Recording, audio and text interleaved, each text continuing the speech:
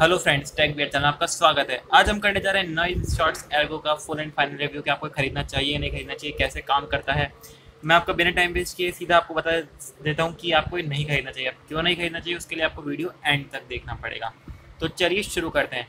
तो आप देख सकते हैं कि ये कुछ इस तरह से बॉक्स में आता है, जिसमें आपको बिल्कुल भी इंटरेस्ट नहीं होगा। एक इसमें यूएसबी टाइप सी केबल आती है, दो ईयरबड्स एक्स्ट्रा आते हैं मीडियम साइज़ में लगा होता है स्मॉल और लार्ज साइज़ होता है, वो इसमें एक्स्ट्रा होता है।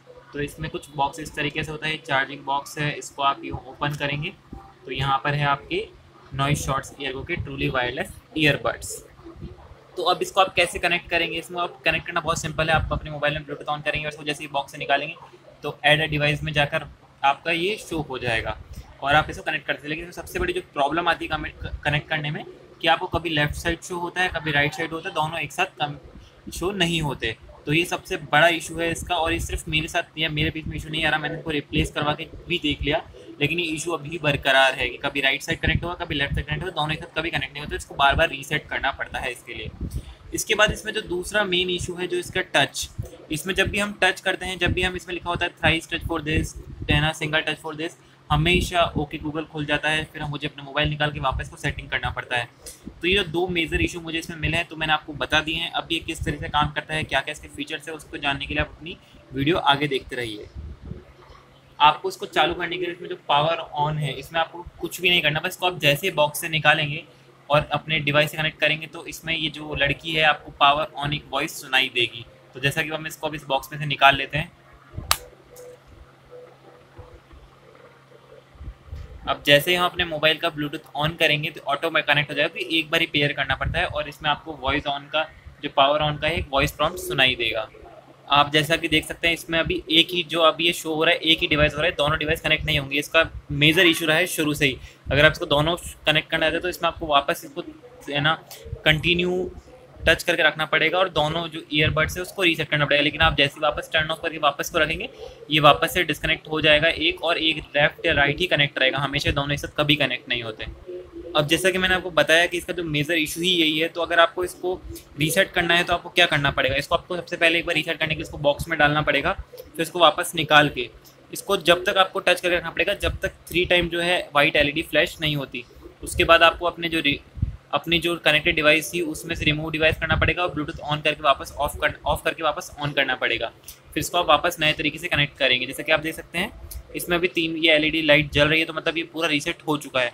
अब हम इसमें ब्लूटूथ में वापस ऐड डिवाइस करेंगे इसको रिमूव करके, ताकि आपको हम बता सकें कि दोनों डिवाइसेस प्रॉपरली काम करें, जो कि नहीं करते टाइम टाइम पर।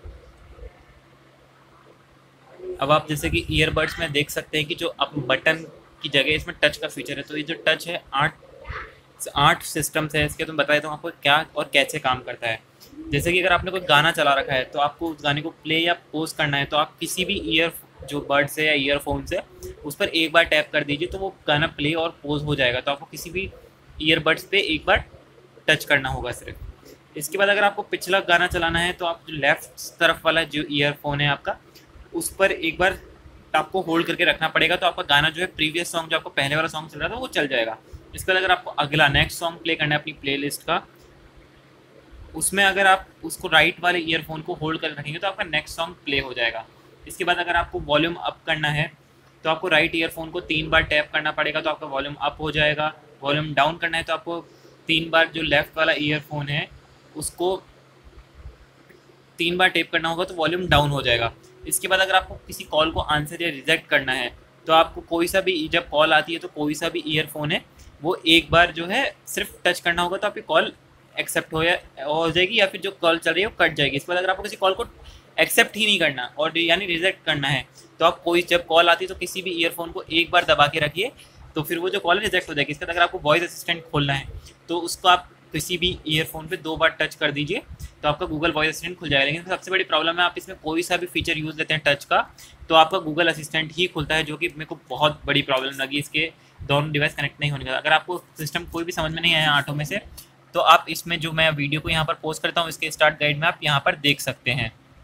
अब ये तो थी इसके फीचर्स की बात। अब हम बात कर रहे थे कान में किस तरह से फिट होते हैं और किस तरह से क्या ये आपके कान में कंफर्टेबल रहते हैं या नहीं रहते जी हाँ कान में आपके पूरी तरह कंफर्टेबल रहते हैं।